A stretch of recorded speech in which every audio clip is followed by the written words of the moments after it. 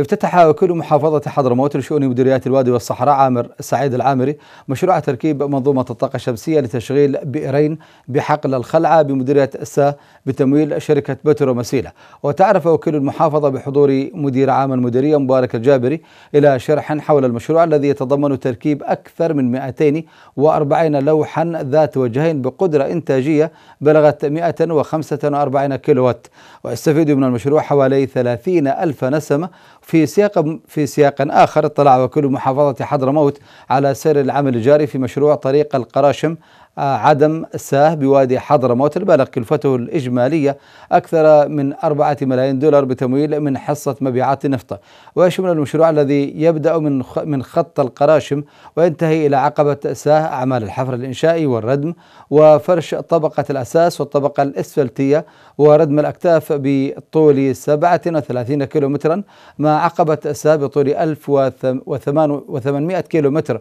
حيث بلغت نسبة الإنجاز فيه قرابة 65%